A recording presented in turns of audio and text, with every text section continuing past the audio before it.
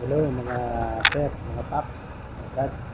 Ah, picture ko lang ngayon yung mga useful upgrade ko sa Honda ADV 150. Ito sa inyo yung mga nadagdag sticker.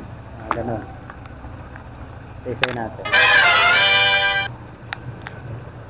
Patayin muna natin yung camera. Ay, yung ano, camera. Gago! Ayan. Una, dito ng ah, shock ah, cover kasi sobrang dumihin. Yan, ito nyo. Ah, sobrang dumihin kasi. Hirap linisin. Yan, naglagay tayo niyan. Tapos, dito naman, yan, side stand para malaki-laki. Yan. Thank you, Shopee. Yan. Naman, lumapat. Eh, may sticker. Sound lang. Tapos, dito naman, yan, Motowork, city holder. Puro mga Shopee lang to nabibili. Damihan. Yan, tapos ito, Shopee rin to. Yan. Para maganda yung ano, buha sa likod. Tapos ito, yung black na ano sa windshield, pinagawa ko lang dito sa Ampid, San Mateo. Ah, maganda na, ayaw kasi nung clear eh. Dami ng gasgas. Ang gastos ko dito nasa ano eh, 350. Ganda naman yung pagkagawa. Sulit naman. Ayan. Kasi ito, sa ano rin, Shopee. Decepticon. Ito, Shopee rin to, yung kilay. Kilay tint niya, Shopee rin yan. Ah, ganda rin naman.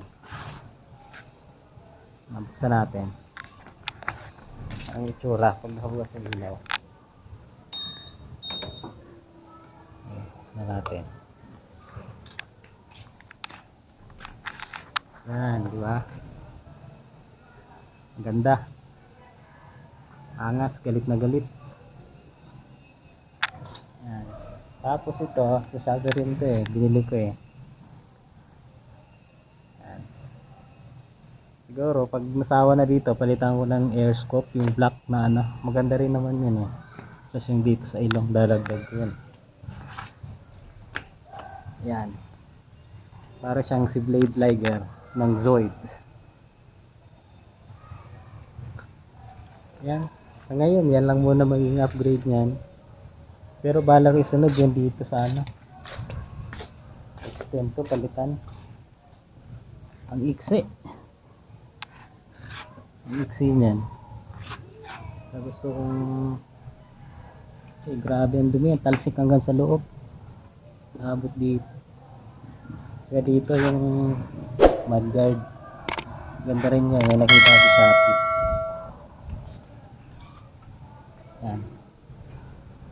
Kaya natin.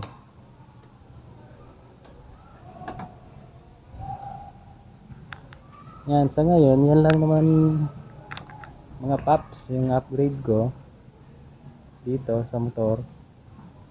Ayan, siguro, dag nagkapera, uh, dagdagan na yung iba, mapalit, madag, ma-upgrade, mga kailangan.